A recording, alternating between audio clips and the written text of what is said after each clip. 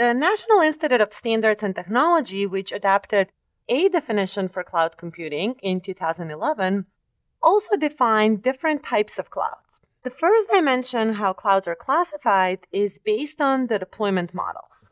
Clouds can be public, like Amazon's EC2 cloud is a public cloud.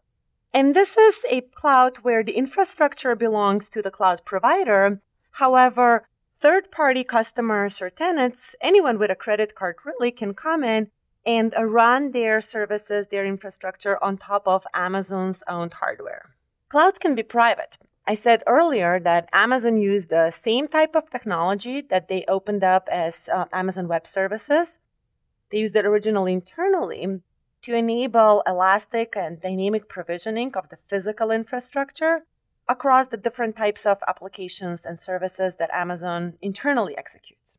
In the case of a private cloud, it is uh, the infrastructure as well as the tenants, the services, the applications that run on top of that infrastructure. Everything is owned by the same entity.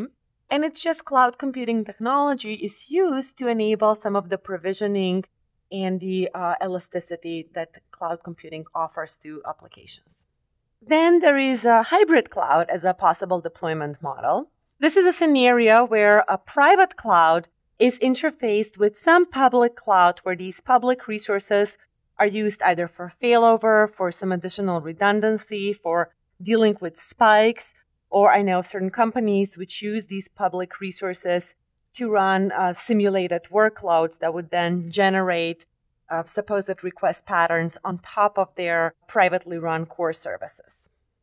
Finally, the definition also references that there is a community cloud as a type of cloud. This is really just a public cloud where the third party customers, uh, the third party users of the services or the information that's provided by this community cloud, isn't really just used by arbitrary customers, but by a certain type of users.